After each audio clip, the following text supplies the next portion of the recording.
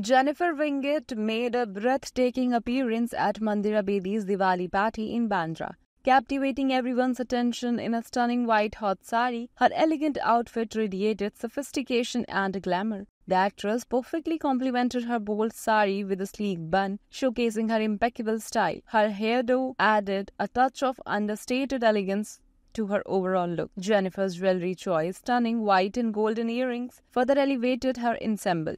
The delicate yet striking accessories perfectly complemented her sari, creating a harmonious balance of style and sophistication. At Mandira Bedi's Diwali celebration, Jennifer's dazzling appearance stole the spotlight, making her one of the most stylish attendees of the evening. Her flawless fashion sense and captivating smile left a lasting impression.